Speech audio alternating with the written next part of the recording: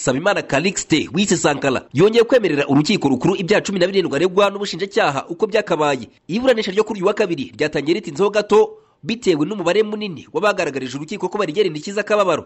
Barimo sosiyete zitwara abagenzi za Alpha na Omega zatwikiwe imodoka eshatu zo mu bwoko bwa Coaster mu bitero byagabwe ku butaka bw'u Rwanda mu murenge wa Kitabi mu karere ka Nyamagabe bikozwe n'inyeshyamba za FLN uregwa yarabereye umuvugizi. Ubushinjacyaha bwagaragaje ikimenyetso ku kindi. Mu bugize ibyaha buri Nsabimana Calixte nawe wanahawe umwanya wo kwerekana uko yakoze buri cyaha muri cumi na birindwi akurikiranweho Nsabimana Calixte wise Sankara yashimiye uburyo yitaweho ubwo yarakimara gutabwa muri yombi maze ashimangira ko ntacyo yashinze leta y'u Rwanda ku buryo abayeho muri gereza. Yabwiye urukiko ko uyu mutwe wa FLN washinzwe n'ishyaka rya CNRD ubwiyunge ryari riyobowe na Ndagijimana Rora uzwi ku izina rya General Irasubiza Wilson wiyamuye ku nyeshyamba za FDLR tariki ya gatandatu z'ukwezi kwa gatandatu bibiri na cumi na gatandatu irucuru muri Repubulika ya Demokarasi ya Kongo muri icyo gihe ngo we yari komiseri ushinzwe itumanaho n'itangazamakuru mu mutwe w'iterabwoba wa RNC yanabereye umunyamakuru kuri radiyo itahuka. Nsabimana Calixte wise Sankara yabwiye urukiko ko tariki makumyabiri n'umunani z'ukwezi kwa cumi bibiri na cumi na karindwi we ndetse n'abandi bantu bake biyomeye ku mutwe w'iterabwoba wa RNC bashinga ishyaka ryabo ryiswe RRM rigizwe n'abanyamuryango umunani gusa. Maze Nsabimana Calixte aba perezida w'iri shyaka tariki ya cumi n'umunani z'ukwezi kwa gatatu bibiri na cumi n'umunani ishyaka rya Nsabimana ryabaye umunyamuryango wa MRCD